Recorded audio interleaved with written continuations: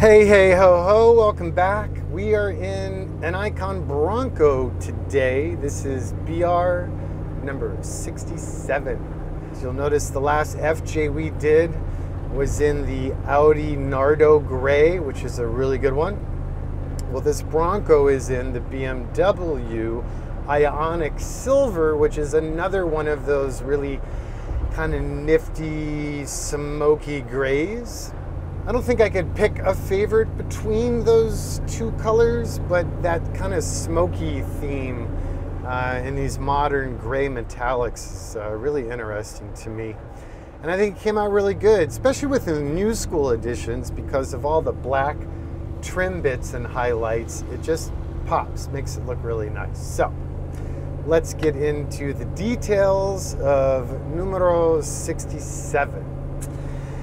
New School Edition, as mentioned, so that has the Icon bumper system. The front hides a Warn 9.5 winch with a synthetic rope and Viking Hawse Fairlead.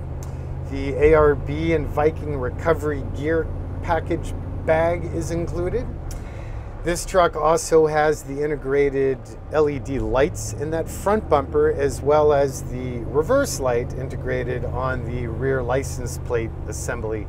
We're running the reverse camera in this rear bumper and we are running the higher end of the audio packages. The Pioneer NEX 8200, the newest version, which has the tethered and wireless CarPlay connectivity, which is a really nice convenience. We're also running the Focal K2 speakers with separates and crossovers, along with the full amp and bass package.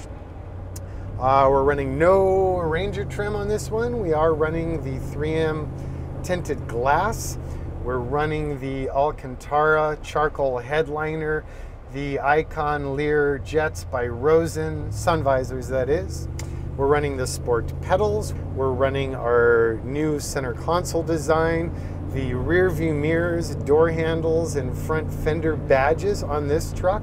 We're trying out an aluminum instead of stainless to shave off a little bit of weight.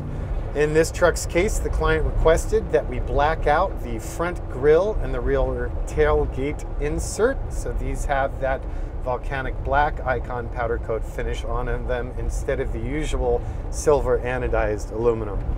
For seating, we're running the Chilewich textiles with the optional three-stage carbon fiber heat blanket underneath the textile. In the rear, we're running the usual tuck and tumble and removable rear two-passenger bench. We have three-point seat belts for everybody. And we obviously have our roll cage with the integrated LED lights, the laser cut stainless steel and aluminum trim surround door panels. For the doors and windows, we're running power door locks. We're also running power windows.